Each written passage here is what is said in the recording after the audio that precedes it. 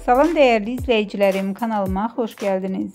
Aparıcı Kamran Həsənlinin evladının xeyir işi olub. Aparıcı paytaxt restoranlarının birində oğlu Turana toy edib. Həsənlinin şad günündə sənətçilər Könül Kərimova və Eyüp Yaqubov kimi tanınmışlar yer alıblar.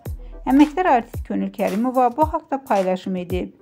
İfaçı aparıcının evladının şad günündən lentə alınan görüntüləri yayımlayaraq Kamran Həsənlinin evladının toyundan Allah xoşbəxt etsin sözlərini qeyd edib. Xatırladaq ki, Kamran Həsənlinin Ərtuğrul və Turan adlı iki oğlu var.